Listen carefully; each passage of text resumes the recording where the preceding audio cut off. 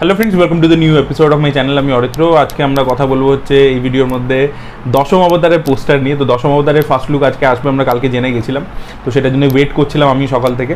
তো চারটে যে মেন প্রাইমারি ক্যারেক্টার রয়েছে, অনির্বাণ ভট্টাচার্য, প্রসেনজিৎ চট্টোপাধ্যায়, জয়া হাসান এবং যিশু সেনগুপ্ত, তাদের ক্যারেক্টারগুলোর যে লুক সেগুলো সামনে এসছে আলাদা করে এবং তার সাথে সাথে একটা পোস্টারও ড্রপ করা হয়েছে। এবং পোস্টারটা খুব ইন্টারেস্টিং হয়েছে।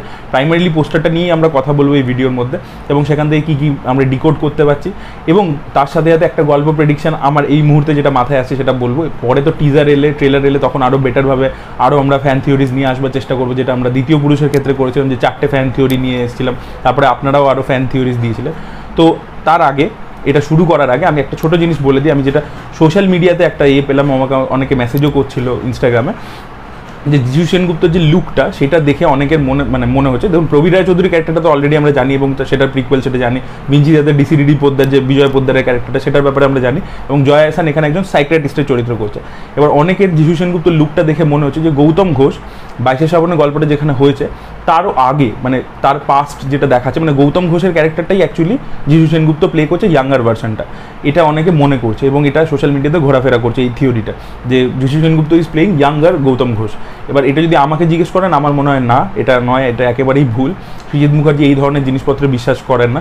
এটা পুরো out and out hardcore commercial ছবির ক্ষেত্রে হয় যে ইয়াং বয়সে একরকম দেখতে ছিল, বুড়ো বয়সে একরকম দেখতে হয়ে গেছে।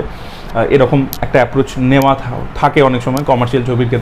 বাট আমার মনে হয় না সুজিত মুখার্জি এবং এই গল্পটা আমি যা শুনেছিলাম দু হাজার তিন, চার এরকম একটা টাইম সময় বেসড আর কি। তো দেখা যাক এবার আমার তো মনে হচ্ছে না যে এই থিওরিটা কোথাও কোনোভাবে সঠিক। এবার আমার মাথায় যে থিওরিটা আসছে, সেটা আপনাদের সাথে আগে শেয়ার করে দিই।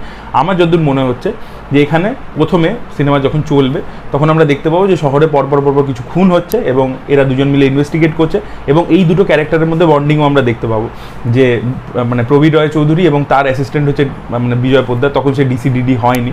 এবার এই যে ডিসিডিডি পোদ্দারের যে ওয়ার্কিং প্রসেসটা আমরা দেখেছি মিঞ্চিদাতে সেটা হয়তো সে কোথাও গিয়ে একটা প্রসেনজিৎ চট্টোপাধ্যায়ের কাছ থেকেই শিখেছে, তার প্রসেসটা তার মানে ডিকোডিং যে ব্যাপারটা, সেটা সেখান থেকেই শিখেছে। বা তারা এটা ইনভেস্টিগেশন করছে, করতে থাকছে।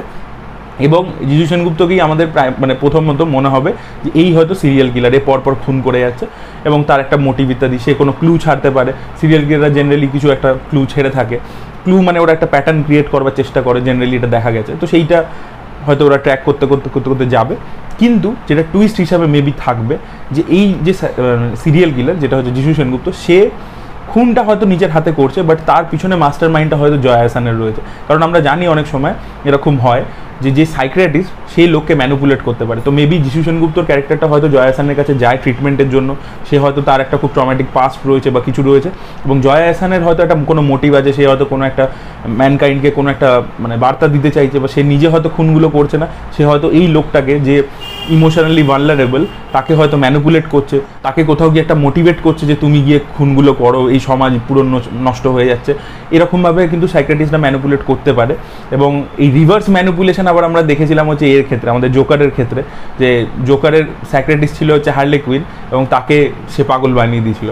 তো এরকম জিনিসপত্র আমরা দেখেছি মানে সেরকম লেভেলের জিনিসপত্র হতে দেখেছি কমিকে তো দেখা যাক, আমার মনে হচ্ছে এরকম একটা অ্যাঙ্গেল মানে আমার মনে হচ্ছে যে থাকতে পারে যে Jaya Hasan is the main culprit কারণ আমরা প্রথম থেকেই বুঝতে পেরে যাচ্ছি এটা অ্যাটলিস্ট পোস্টার লেভেল থেকে এটা আমার মনে হচ্ছে যে Jishu Sengupta is the killer এটা যদি লুকিয়েও রাখে সিনেমার মধ্যে অ্যাটলিস্ট এটা মাথায় কিন্তু আমাদের চলছে। এটা যে কোনো দর্শকের, কারণ এরা দুজন যদি পুলিশ অফিসার হয়, এবং এখানে যেহেতু এটা বাইশে শ্রাবণেরও প্রিকুয়েল তো বুম্বাদা তো ডেফিনেটলি আর কিলার তো হবে না, তাহলে ওটা ইলজিক্যাল হয়ে যাবে। তো এই থিওরিটা একটা আমার মাথায় আসছে, যেটা আপনাদের সাথে শেয়ার করলাম। আপনাদের কীরকম মনে হচ্ছে অবশ্যই কমেন্টে জানাবে। এবার লাস্ট আমরা এই পোস্টারটাতে চলে আসব, যে পোস্টারটা ড্রপ করা হয়েছে। খুব ইন্টারেস্টিং পোস্টার লাগছে। একটা পুলিশ স্টেশনের বোর্ড যেখানে পরপর কিছু ক্লুজ ইত্যাদি লাগানো আছে, সেটা একদম ব্যাকড্রপে রয়েছে ব্লু কালারের মধ্যে এবং তার উপরে যেন পাজেলসের মতো এই বিভিন্ন মানে যতগুলো ক্যারেক্টার চারটে প্রাইমারি ক্যারেক্টার তাদের মুখগুলো পাজেলের মতো রয়েছে বিভিন্ন পিসেস এবং তার যদি পাশটা ভালো করে দেখেন, যে এই চারটে মুখের পাশে যদি দেখেন, পরপর পরপর দশটা যে অবতার আছে, তাদের বিভিন্ন রকমের সি মানে সাইন রয়েছে, বিভিন্ন অবজেক্ট দিয়ে দিয়ে সেগুলোকে ডিনোট করা হয়েছে। সেখানে মাছ রয়েছে মানে মৎস্য অবতার আমরা জানি কুর্ম রয়েছে, বরাহ রয়েছে, ঠিক আছে, রাম রয়েছে, রামের জন্য ধনুক রাখা হয়েছে, আর কলকি যেটা আসতে চলেছে দশম অবতার, সেটার জন্য একটা সাদা ঘোড়া রাখা হয়েছে, কারণ কলকি বলা হয় যে মানে যে ওয়ারিয়ার সে একটা ঘোড়ার উপর চড়ে আসবে হাতে তরোয়াল নিয়ে, ঠিক আছে, বামন অবতারের জন্য একটা বনজাইকে রাখা হয়েছে, একটা গাছ, ওটা ডিনোট করার জন্য, তো এরকম বিভিন্ন রকমের নৃসিংহর জন্য একটা সিংহ রাখা হয়েছে, তো এরকমভাবে প্রচুর লোগোজ আমরা চারিদিকে দেখতে পাচ্ছি, দশটা অবতারে দশটা মানে সিম্বল দিয়ে ডিনোট করছে। এবার মজার জিনিসটা হচ্ছে এই দশটা কিন্তু মানে নর্মালি যেভাবে অবতারগুলো এসছে পৃথিবীতে, সেই অনুযায়ী কিন্তু নেই।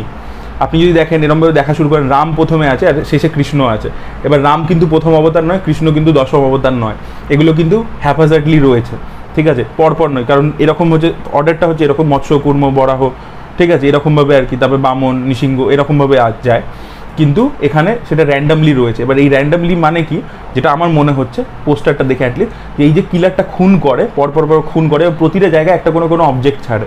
ধরুন দাবার ঘুটিতে একটা ঘোড়া ছেড়ে দিল, কোথাও একটা বনজাই ছেড়ে দিচ্ছে, কিছু। এই ক্লুগুলোকে ধরে ধরে ধরে ধরে পুলিশ যে দুজন অফিসার রয়েছে, যেটা প্রসেনজিৎ চট্টোপাধ্যায় এবং অনির্বাণ ভট্টাচার্য ক্যারেক্টারটা তারা এবার ডিকোড করছে। এবং এ, এই একটা কোনো মেসেজ ছাড়তে চাইছে। এবার সে ভগবানকে চ্যালেঞ্জ করে এই খুনগুলো করছে।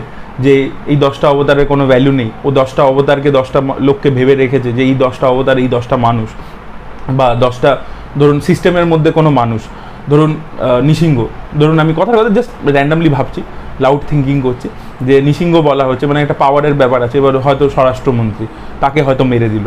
তো এরকমভাবে ও সিস্টেমের মধ্যে দশটা লোককে মারছে এবং প্রতিটা জায়গায় একটা করে সিম্বল ছাড়ছে। যে সিস্টেমের যে ভগবানকে আমি চ্যালেঞ্জ করছি। এটা হতে পারে, আবার রিভার্সটাও হতে পারে যে ও নিজেকে অবতার ভাবছে এবং ও একটা একটা করে খুন করছে ক্লিয়ার করছে যে সমাজ থেকে আমি ডেমন্সদেরকে সরাচ্ছি। কারণ প্রতিটা অবতার এসছে এক একটা কোনো ডেমানের সংহার করতে। তো সেইটা করছে কি? যে কোনো একটা হতে পারে। মানে এই কিলারদের সাইকোলজি তো এরকম হয়, তারা ভাবে তারা খুব ভালো কাজ করছে, কোনো মহৎ কাজ করছে। তো মেবি সেটা একটা থাকতে পারে। ইদার সে নিজেকে ভগবান ভাবছে আর দানব ভাবছে যে কোনো একটা। এবার মহাভারত মার্ডার্সে অলরেডি নিজেকে দুর্যোধন ভেবে এদেরকে খুন করা হয়ে গেছে। মানে পাণ্ডবদেরকে এক একজনকে মার্ক করে খুন করা, এই ব্যাপারটা আমরা দেখে ফেলেছি অলরেডি তো তাহলে এখানে কি রিভার্সটা হবে? দেখা যাক সেটা কি হয়। এবং সৃজিৎ মুখার্জি এই ধরনের কাজ করতে যায়, মহাভারত মার্ডার্সও আগে তিনি করতে চাইছিলেন, তারই ডিরেক্ট করার কথা ছিল। তো এবারে উনি- নিজে একটা মাইথোলজিক্যাল থ্রিলার নিয়ে আসছেন, দেখা যাক কীরকম হয়। পোস্টারটা বেশ ইন্টারেস্টিং আপনার দেখেই মনে হবে যে হ্যাঁ এটা দেখব, এই কাজটা দেখব, সেই একটা এক্সাইটমেন্ট আপনার মধ্যে জাগবে। আমার তো পার্সোনালি খুবই ভালো লেগেছে। আমরা আমাদের ফেসবুক পেজে অলরেডি শেয়ার করেছি ইনস্টাগ্রামেও শেয়ার করেছি।